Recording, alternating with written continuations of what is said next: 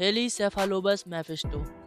यह धरती पर पाया जाने वाला एक ऐसा प्राणी है, जो इस धरती के सबसे डीपेस्ट प्लेस पर पाया जाता है। मतलब हम कह सकते हैं कि इसे धरती के सबसे गहरी जगह, जैसे समुद्र महासागर की सबसे डीपेस्ट पॉइंट पर जो लाइफ होती है, वो इसी की होती है। हेलीसेफालोबस मैफिस्टो। यह एकमात्र ऐसा प्राणी है जो सबसे गहराई में जीवित रह सकता है। और ये कीड़े लगभग 3.6 किलोमीटर नीचे समुद्र में पाए जाते हैं। और यहाँ पर ऑक्सीजन भी ना के बराबर, एक परसेंट से भी कम होती है। मतलब ये कीड़े इतनी गहराई में बिना ऑक्सीजन के जीवित रह सकते हैं। और इसलिए वैज्ञानिकों ने इसे नाम दिया डेविल वॉर्म। पर इसका वैज्ञानिक नाम तो हेलीसोफालोबस मैफेस्टो ही है। और ये कीड़े लगभग बारह हज़ार साल तक ज़िंदा रह सकते हैं, पानी के सबसे डीपेस्ट पॉइंट पर।